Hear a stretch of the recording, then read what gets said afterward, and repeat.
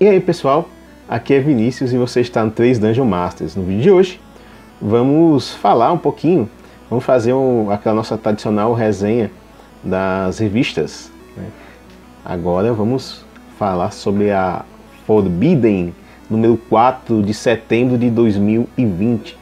Aquela revista sobre Old Dragon, Space Dragon e material da Burô de Jogos, ah, da Burô Brasil, né? Uh, a gente tem aqui já na capa um mago muito poderoso, né? Aqui com o seu dragão, né? Uh, não é a Daenerys, não é o Rei da Noite, mas é um mago bem, bem poderoso com o seu dragão. E essa edição vai falar basicamente sobre magos, magia, né? Vai ser uma edição mágica. Então vamos lá e a gente vai logo aqui para encontros aleatórios. Esse encontro aleatório aqui, eu ouso dizer que é, é até agora o melhor que foi feito uh, é o mais bem montado que eu vou usar com certeza. Por quê? Esse sarau do Nobre Domingos, basicamente, ele passa um clima bem Dragon Age Inquisition, uma certa missão lá dele, Dragon Age Inquisition, se você jogou, você sabe qual é. Uh, também de uma certa DLC do Dragon Age 2 também, que você sabe qual é. Uh, basicamente, esse sarau do Nobre Domingos é uma festa, um, um evento social de ricos e famosos e nobres em um determinado lugar que você pode encaixar é, facilmente na, na, na, sua aventura, na sua campanha, certo? E é um, uma, uma, uma aventura, né? Praticamente um one shot, né? É um encontro, basicamente. Uh, não vou dizer bem encontro assim, é uma, uma sessão de jogo, dá para você montar uma sessão de jogo em cima dela. Então, esse Saldo Nobre Domingos, ele é interessante pelo seguinte fato. É, ele tem essas, essas tabelinhas aqui, uh, as tabelas, essas opções, você rola um D8 e cai essa opção. Então isso, é dentro desse, desse plano de fundo que eu falei do, do evento, uh, do evento social lá do Nobre, ele pode transcorrer de várias formas diferentes, os jogadores podem estar dentro desse evento, desse, desse encontro, de maneiras diferentes, dependendo das rolagens de dados aqui e ele pode transcorrer de formas bem diferentes, né? ter objetivos diferentes, tudo muito diferente, de acordo é, com as rolagens que o mestre for fazer. Eu recomendo que você faça essas rolagens né, antes da, da sessão de jogo, para você já ter mais ou menos um, uma ideia do que vai acontecer, né? Já se preparar melhor. Uh, mas aqui, ó, uh, que é o local, né, onde acontece. Né? E aqui, ó, as descrições, né? É, monstro e tudo, mas tudo, ó, tem essas essas rolagens que você faz para determinar o que, é que vai ser cada coisa, né? Então, bem, bem legal, bem interessante isso aqui. Uh, é, uma, é uma, um encontro que realmente muito, muito, muito bem feito, uma ideia muito boa. Eu acho que se. É, é porque é aquela coisa, é legal você ter a diversidade do, desses encontros, né? Deixa eu ver até quem fez aqui. Eu nem falei quem fez. Foi o Álvaro Botelho. Muito, muito bem, muito bem feito, Álvaro. Excelente. E é legal você ter a diversidade, mas se tiver um, mais encontros feitos aqui pelo Álvaro, né, desse estilo, eu ficaria muito satisfeito, ficaria muito feliz. E ser mago para quê? Esse, esse artigo aqui é bem interessante no sentido de que é, recentemente nos grupos de WhatsApp do Dragon tem três grupos de WhatsApp, basicamente, dois oficiais, o do Legião e o grupo oficial do Dragon, e um grupo não oficial. Eu faço parte do de Legião e do não oficial. E nos dois grupos que eu faço parte, recentemente teve um, uma discussão a respeito do poder dos magos em níveis iniciais, porque magos eram tão fracos, porque os mestres ficavam criando dificuldade para os magos. Né? Esse artigo do Bruno Baeri é bem interessante porque ele fala basicamente é, sobre isso, né? Para a discussão do WhatsApp, essa aqui foi. Eu acho que o cara leu as discussões, pegou e fez a matéria, só pode, porque foi, foi bem, bem em cima mesmo, assim. Ah, basicamente aqui ele explica né, o porquê disso, em termos do jogo, E algo que é interessante que ele, ele, ele usa, né, ele indica um livro que não é oficial, não foi lançado pela Bolô de Jogos, o Redbox antes, mas sim por um dos ótimos autores do Power Dragon, que é o Rafael Beltrame, é o guia de classe. Inclusive nós temos resenha dele, o link, o link não, a, vai estar tá no card aqui em cima uh, o, o link para você assistir esse vídeo, certo? Mas é um livro excelente e que ele indica aqui como uma fonte para você é, ler e é, melhorar né, o seu mago, né, e fazer uma, um mago um pouquinho, um pouquinho mais incrementado.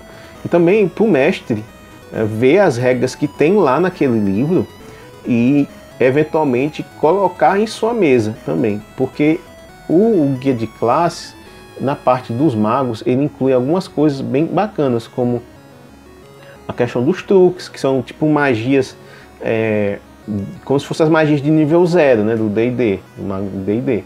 Só que são coisas que não causam dano, não, são coisas mais utilitárias para o mago, entendeu? E que tornam ele um pouquinho mais útil, né, do que é, a, a, a, aquela situação mesmo de você ter só pouquíssimas magias em níveis iniciais, né? Uh, também questão de colocar mais armas para o mago utilizar, né? também.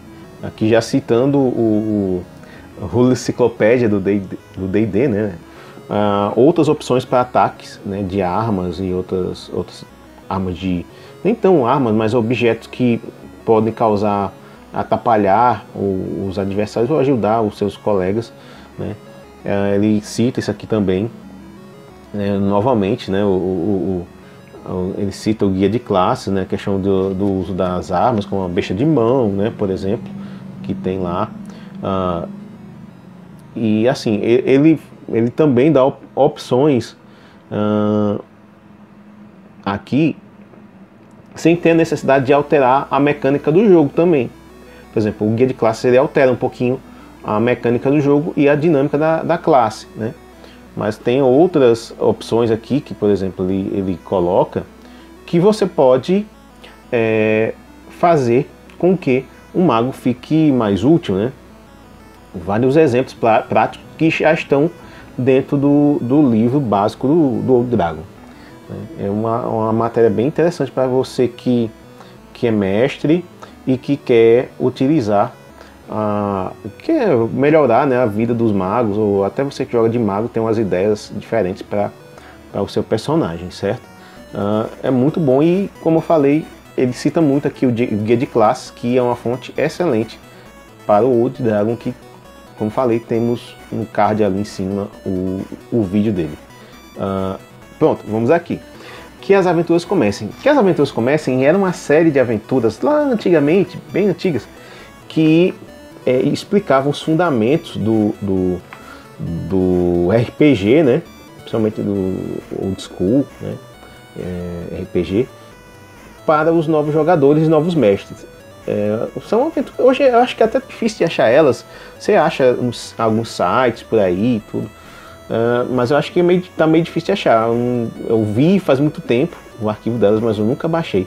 Tanto é que eu joguei ela, uma delas, eu jogo, tô jogando Legião, e o mestre mestrou uma delas, eu não fazia nem ideia que era de, dessa, desse, desse conjunto. E quando eu, eu li, estava lendo essa aventura, esse artigo aqui, aventura, é, eu me dei conta que eu tinha jogado ela, assim, uma adaptação, né? Essa artigo, ele é interessante porque ele não é só a aventura, ele traz uma explicação e algumas dicas para o mestre iniciante e também para o jogador iniciante de RPG, que eu acho que aqui está mais para o mestre, mas o, o mestre pode colocar isso para os jogadores também, né? É, algumas coisas. Basicamente aqui, ó, explica o que é a aventura. E aqui eles explicam, né, os pilares das aventuras, né, o, o dungeon crawl, hack and slash e a interpretação, né. Dungeon crawl é basicamente é, entrar na masmorra, né, descer na masmorra bater nos monstros e retirar o tesouro de lá. O Hack and Slash é aquele uh, o estilo God of War, né? É de simplesmente é, bater nos monstros e, e detonar tudo e pegar os seus tesouros. É a interpretação roleplay, né, que muita gente gosta também. Eu acredito que o ideal é nós termos tudo isso junto, né? E aqui os papéis né, do mestre também, explica também, dá alguns exemplos de como você é, melhorar a sua descrição, né? É, fala a respeito do sucesso do RPG, né, algumas dicas para o jogador e para o mestre. E, enfim, aqui é a aventura. Eu vou passar por cima dela para não dar spoiler, porque eventualmente você vai jogar, vai jogá-la, o seu jogador vai ver esse vídeo, então não vou dar spoiler. Mas aqui, ó, a Catacumba do Necromante é uma aventura muito legal, muito legal, que ela tem uma pegadinha no, no os jogadores também. Mas é muito legal essa aventura, muito divertida. E uma aventura de Dungeon Crawl. E ela é facilmente adaptável para qualquer cenário. Qualquer cenário. A gente jogou ela usando Legião. Cara, Legião é bem, bem, é bem soturno, sombrio e tal. Mas dá para colocar num cenário mais, ah, sei lá, o Tordesilhas, ou um Senhores da Guerra, ou no, no Senhores da Guerra Vikings, ou qualquer outro cenário que você utilize, né? É, dá para usar ela bacana. Vou... Aqui é bem bacana eu tava reclamando que tava tendo pouca coisa de Space Dragon. Aqui tem, temos uma coisa bem bacana pro Space, Space Dragon, que é o Álvaro Botelho de novo. Eu, é, esse cara gosta de tabela, viu? Esse cara que fez o, o gerador de aventuras para o Space Dragon. É, basicamente, ele faz o seguinte: você pega, rola né, nas tabelas, os dados, que a interpretação das tabelas, rola 2d6, né? E vai montando a sua aventura. É extremamente legal. Eu uso, tá quente. Ah, eu uso isso aqui. O Espadas Afiadas e Feitiços Sinistros tem nele umas tabelas semelhantes a essa para gerar uma aventura, nome de aventura, um monte de coisa. Inclusive tem um, um vídeo que a gente fala de como gerar essas aventuras é, de forma aleatória, né? Vou botar o, o no card também aqui em cima para vocês darem uma olhada e terem uma ideia também de como, como funcionaria isso aqui. Mas isso aqui, ó, vou te dizer, você tá sem ideia, tá com dor de cabeça, tá, tá com pressa de montar uma aventura, cara, isso aqui ajuda demais, demais, demais, demais, demais, demais mesmo, certo? Uh, é uma coisa fantástica. Mas vamos lá, vamos seguir. Tomos de magia. Bem, aqui no Tomos de Magia, desse mês, do Igor Sartorato, é o terceiro capítulo dele, ele vai falar sobre as escolas de magia, certo? Que são aquelas escolas de magia. Para quem joga D&D, já sabe, né? Por exemplo, adivinhação, abjuração, conjuração, encantamento, papapá, bem, bem, bem. É, é, divide as magias em é, tipo caixinhas, né? Que seriam essas escolas de magia onde o mago pode ser um genera, generalista ou pode se especializar em nessas escolas, né? Ou seja, ele teria um, um foco maior nessa escola de magia. O que eu acho, um, se você fazer um mago temático, muito interessante. É muito interessante. É uma coisa que no livro básico do Dragon não tem e que isso aqui dá uma, uma outra dimensão ao mago, né? Isso dá uma outra roupagem. Isso aqui é muito interessante, né? Uh, e fora isso aqui, ó, necromancia também aqui. uh, fora isso aqui, ele traz outras as escolas elementais, né? Que é, a, as outras escolas que eu mostrei antes, era da página anterior, eram são as escolas mais tradicionais do D&D. Essa aqui é dos elementais e da forma que ela está apresentada, água, ar, fogo, terra, luz e sombra, é as escolas elementais de um RPG nacional bem mais antigo, que é o, o Arcanum, né? É, infelizmente não, a gente não fez resenha dele aqui, vamos fazer. Um dia a gente vai fazer a resenha do Arcanum e do Trevas, que são RPGs nacionais, são bem bacanas, eles são antigos e é, seria muito legal ter uma edição nova deles, viu? E essa, é, essa é uma inspiração clara do Arcano. Obviamente, o Arcano inventou isso aqui, mas foi que, é, de, em termos de RPG aqui no Brasil, foi o primeiro que usou isso aqui. Pelo menos que eu tenho recordação. É, e que para você que é, veio do, do, desses jogos, né, do Arcano, do Trevas, é, e é, uma, é bem bacana. Inclusive, isso foi parar também no 3DIT. Né? Eu lembro que no 3DIT também tem essa, essa, essas escolas aqui. Então, se você vem do Arcano, Trevas e 3DIT, já tem uma. O 3DIT a gente, tem, a gente fez a resenha, tá aqui na, na, nos cards, eu vou botar. Isso aqui é uma. Você vai se sentir em casa aqui, né? Vou montar um mago estilo 3DT, ou Arcano ou Tevas, né? Vamos seguir aqui. Uh, e assim, ele, ele dá a possibilidade para fazer outras escolas e tal. Fala da questão da, do uso de magias de cura em mortos-vivos, enfim. É bem bacana. Esse artigo eu achei muito legal, muito bacana. Ah, e aqui a sacanagem. Encontros muito aleatórios. Cara, eu não vou, eu não vou detalhar do que se trata, mas basicamente isso aqui é ensinando você a sacanear os, seus jogadores. Né? É, eu faço muito isso, muito mesmo, muito mesmo. Ah, é você pegar o jogador na, na conversa, levar o jogador na lábia né, e passar a perna nele, né, basicamente. Uh, não é uma situação muito. Até você pode fazer isso na, numa situação mais, mais é, complexa ou séria dentro da mesa do jogo, mas isso aqui é mais essa, pra sacanear, pra tirar onda da cara, cara dele e, todo mundo ficar achando graça, né?